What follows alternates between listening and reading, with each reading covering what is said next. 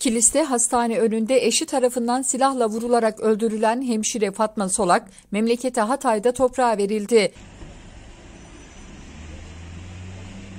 Kilis'te hastane önünde polis memuru eşi HS tarafından tabancayla vurularak hayatını kaybeden hemşire Fatma Solak'ın cenazesi memlekete Hatay'ın hasta ilçesine getirildi.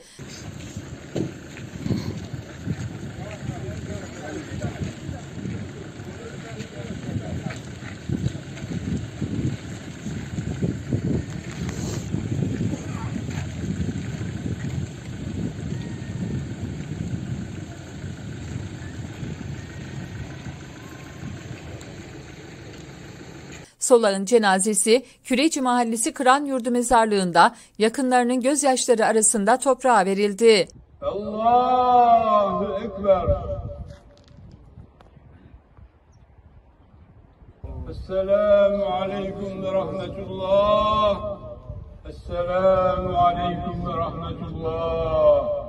Lillahi Teala'l-Fatiha.